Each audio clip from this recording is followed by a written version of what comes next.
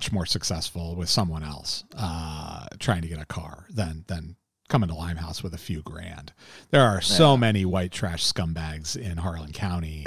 you, you can get you can get a car that's going to get you out of town, right? Yeah, But yeah. I do love that uh, uh, Limehouse here. This is the first lesson that Ava gets on how to disappear um, without being caught. And uh, Raylan gives her another lesson on how to disappear without being caught a little later that we'll that we'll hear a clip of. So uh, so this is almost a, a dry run for Ava. she's getting a lot of uh, she's getting a lot of pointers on how to how to not fuck up disappear her disappearing act. So uh, yeah, if you wanted to disappear, I think we've talked about this before, but you would need a like a whole set of papers, like documentation. You need something. Yeah, you Yeah. need something. You, you can you can modify your cards to you know your credit cards to have a different name on them or something. Um, but but if the the numbers get used, you're going to get tracked. So you you can't really use cards. You've got to use cash, uh, and uh, and you got to have ID, and and it's got to be.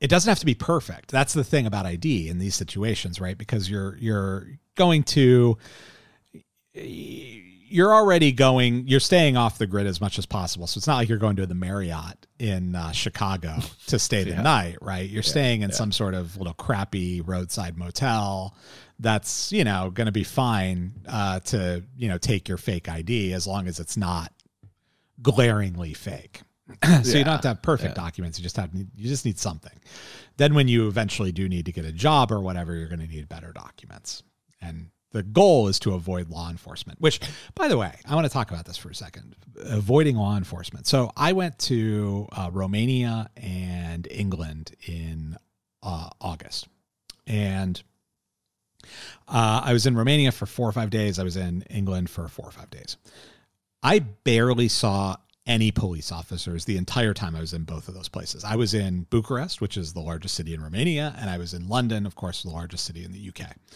And uh, I saw almost no police. In Bucharest, I saw the gendarmes, which are sort of like a private, well, a public security force. They guard like banks and, and money exchanges and stuff like that, uh, uh, national sites of interest, those sorts of things. They're not really cops. They're sort of like uh, they're sort of like security guards with a badge, if you know what I mean. Mm-hmm. And that, but I didn't see any real cops.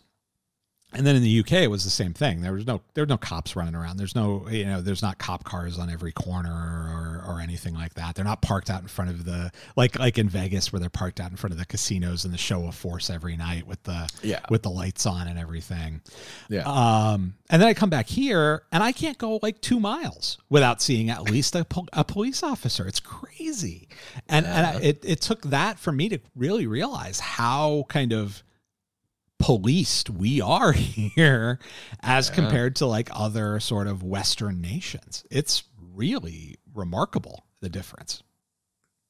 Well, it's a, it's a uh, an industry, really, right? So you know, so it's always expanding. The police are, you know, they're, they they they never cut budgets. No, it's an insatiable beast that has to be fed. Yeah. From a money standpoint. Yep. And it's gotten to the point where they're, you know, they look to create crimes, right? Yeah.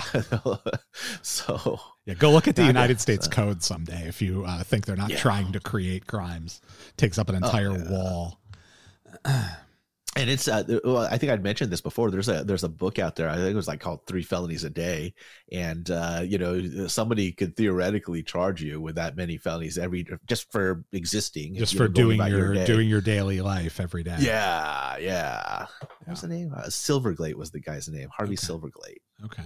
And uh, yeah, and it's uh, it's just as you were saying, just because there's so many laws that uh, that the uh, that the government could could throw against you or charge you with. Yep. So uh, charge you with breaking at least. So it's uh yeah. I don't, so we're, are we the land of the free and the home of the brave?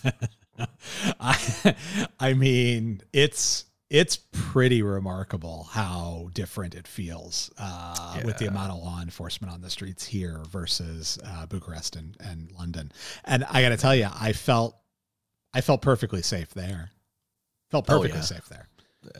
Well, the London, I, th- I think it, it um, because I've seen the like video, and you know, like you got to take that with a grain of salt. Yeah. But just the the amount of it seems like like knife violence because nobody carries guns there, Right. Like, uh, it seems like that that maybe it just depends on what part of the city you're in. I, think it does. Yeah, I think it depends. And and when I was talking to my my brother in law who's in who's in law enforcement uh, in Bucharest, he was telling me that uh, that from a violent crime standpoint, there's almost none.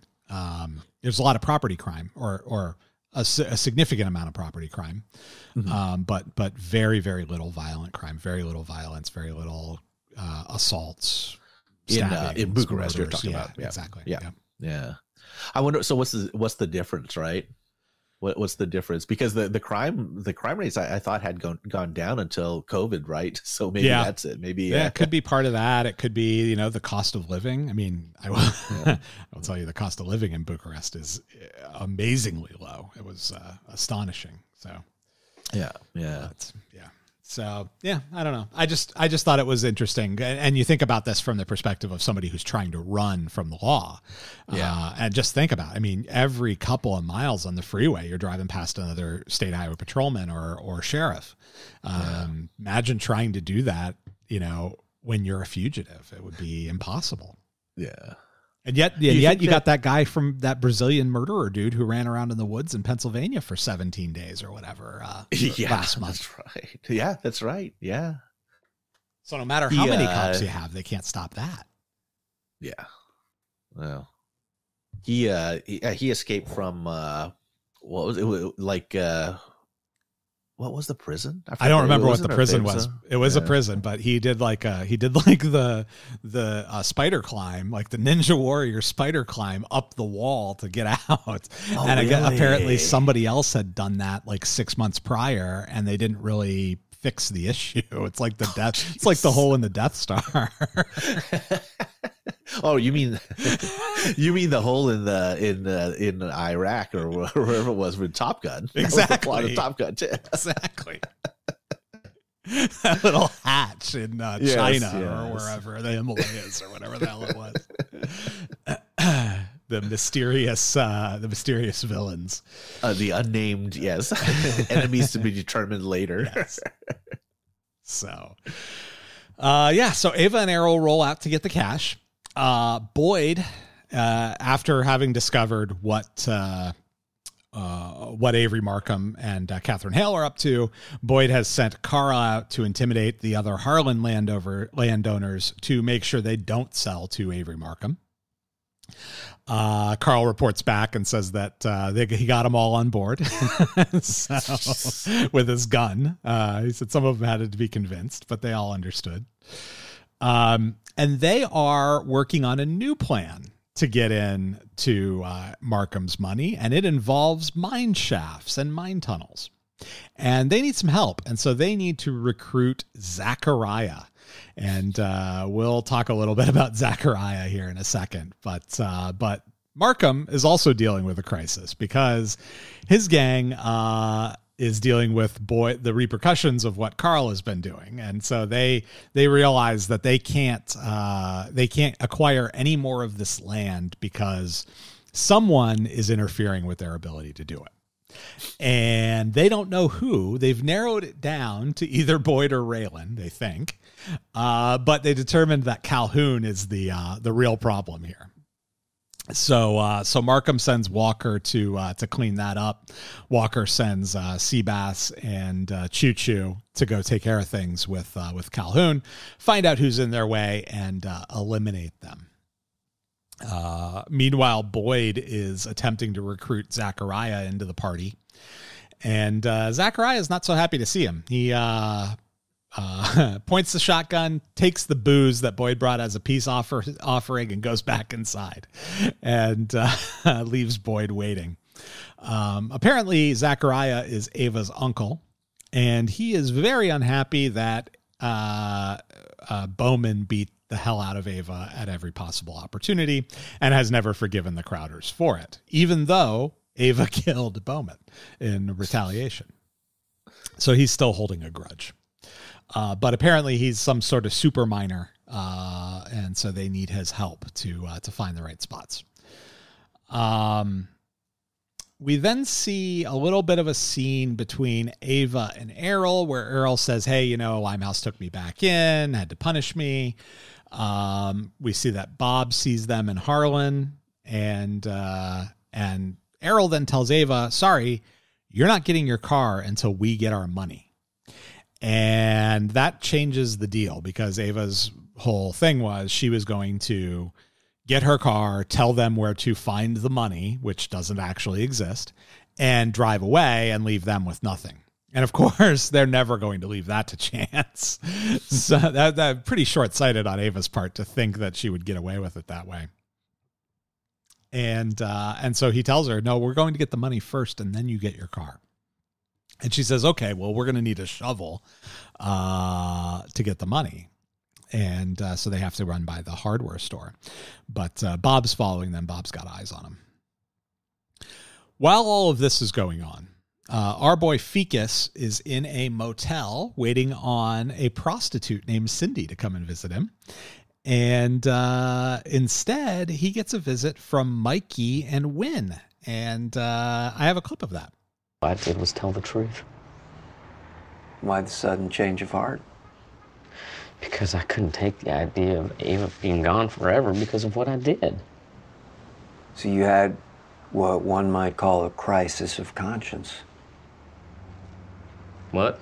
A crisis of conscience. Yeah. Yeah, right. What do you think of that, Mikey? I think it's some soft ass nonsense. If what you claim is true, shouldn't you be getting ass raped in the shower right about now? No, Ava decided not to press charges. Wow. That was nice of her. Why do you think she decided to do that? Look, I don't know, man. Why don't you ask her, huh? I mean, I lost my job, my pension. This whole thing laid me real low, all right? Maybe she didn't want to lay me any lower.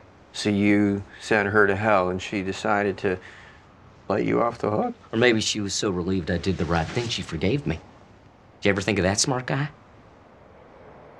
Yeah. But that's just not gonna work for us. What do you guys want me to say, huh? I mean, I'll, I'll, I'll just say whatever you want me to say, all right?